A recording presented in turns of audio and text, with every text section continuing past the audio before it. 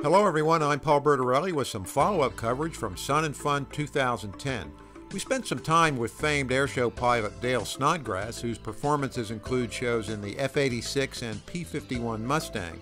This year, he's flying a new routine in the Morane Saulnier MS 760 Paris jet.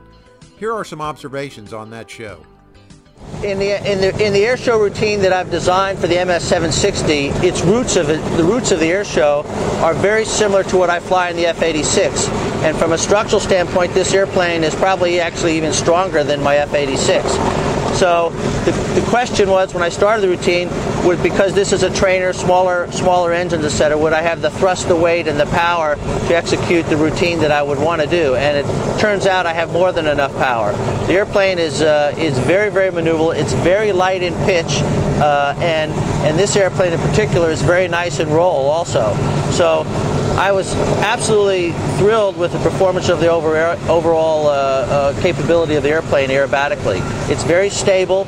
It's a great formation platform, which was also very. We haven't seen that really yet, but because our second air show airplane is. But we're going to do the aerobatic, formation aerobatic routine in close formation, and the airplane is wonderful to fly in in close formation.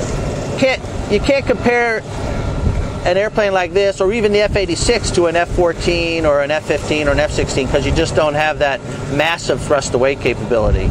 You know, one-to-one thrust to weight, or even excess of one-to-one thrust to weight. So, but overall, this airplane, I'm flying this airplane in my airshow routine at about 95% power.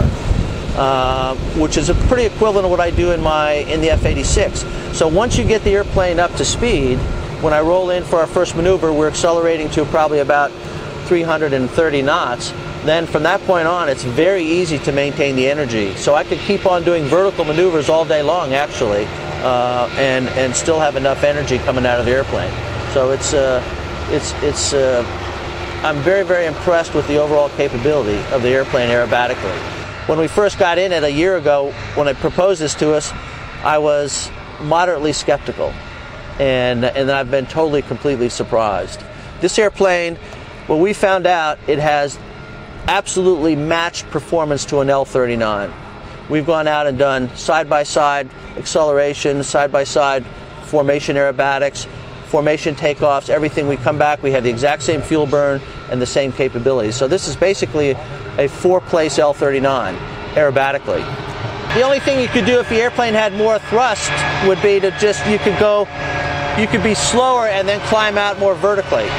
So, you know, on takeoff, I can't stand it on its tail and climb to 6, 10,000 feet like I could in an F-14 uh, or somebody with an F-16. So that's, that's, that's the difference there. But once you're up and away, I mean, I can do a 360 degree turn and sustain seven or eight, not, not seven or eight, but probably four to five Gs. I was pulling about, I, I, I, the G meter came back, I, was, I pulled six Gs about three or four times uh, and air speeds were running around uh, anywhere from 280 to 330 knots, depending on which maneuver I was doing.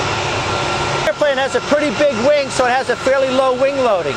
So it has the capability to turn tight. So really I'm just trying to extend, extend my corners so that I can get the maneuvers in the package.